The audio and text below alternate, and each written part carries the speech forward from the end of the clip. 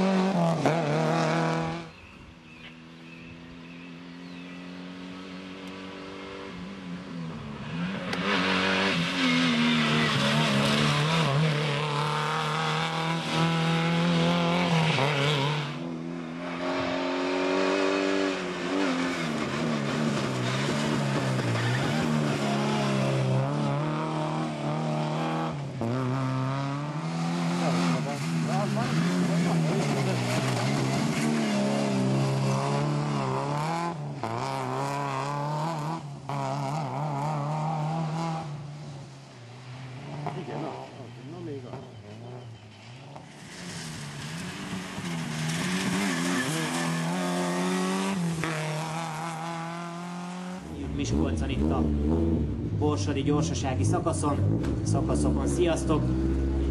Így az eredményt elnézve, eltekintve tökéletes lehetett ez a hétvége számotokra belülről, hogy éreztétek mindezt?